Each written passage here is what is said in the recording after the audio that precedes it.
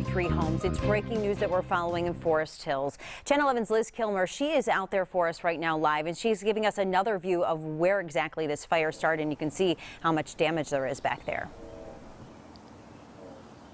Yeah, Jen, we actually moved again to give you another view of the back of the home. This is where the fire started, and you can see how totally charred it is. And actually, there's still smoke coming from the side of the home and the roof, which entirely caved in. Now, the flames, they were so intense that they spread to both of the neighboring homes. Let's pull up some viewer video. It's absolutely wild. You can see this is what firefighters were up against when they came here to Elmore Road, a dead end street in Forest Hills here. It was around 11 last night when they were first called, and they worked overnight to get things under control. Now, flames, like I said, spread to two homes here, so damaging three in total. The Red Cross has been called in to help the folks who live out here. We're told that a family was inside the middle home where the fire started. Fortunately, they made it out okay, but one firefighter did hurt his eye while working to get things under control.